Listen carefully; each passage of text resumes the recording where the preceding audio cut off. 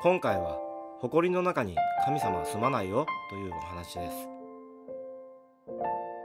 なぜかうまくいかない疲れる考えがまとまらないっていう時は自分の部屋を見渡してみてください。部屋が汚れていませんか？いらないものや使わないものが溢れていませんか？部屋は自分の気を養い充電するところです。そこが汚れていたり不必要なもので溢れているとそこからマイナスの波動が出るんです。神社に行くのも神事なんですが最高の神事は掃除だと言います。神様は汚いものが大嫌いなんです。汚いところには寄りつきません。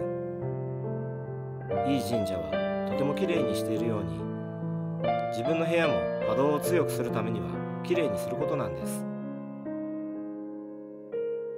何をやっても途中で諦めてしまう人。なぜか邪魔が入ってくる人。うまくいきかけたのに。どうもうまくいかない人。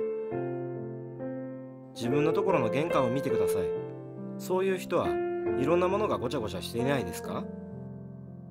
例えば家族3人なのに靴が10足とかないですか？きちんと並べていますか？ごちゃごちゃしているとなぜかうまくいかないことが起きちゃうんです。床とか壁を汚している人はご先祖様のご加護が入ってきません。家が古くてももっと古い神社だってきれいにできるんです。今はいろんな便利な洗剤やらお掃除グッズがいっぱいあるので誰でも簡単にできてしまう時代です。先の見通しが見えない人は部屋の窓を見ると本当に汚れているんです。良い情報が入ってこないのです。体調をすぐに壊しやすい人は水場周りを掃除してください。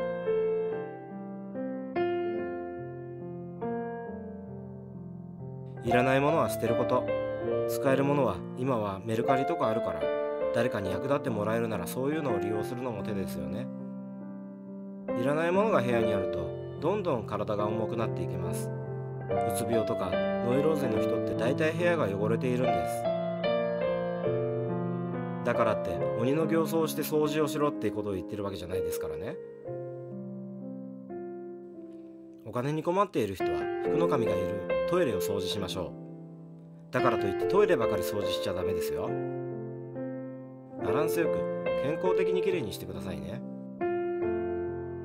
部屋って自分の思っているより重要な場所でついつい掃除を怠ったり埃が溜まったり物が散らかったりしてしまって心が落ち着かない場所にしてしまうことがよくあります。今の大変な状況を改善したかったらとにかく掃除をすること。そうするとあなたに良いことが雪崩のごとく起きますよ。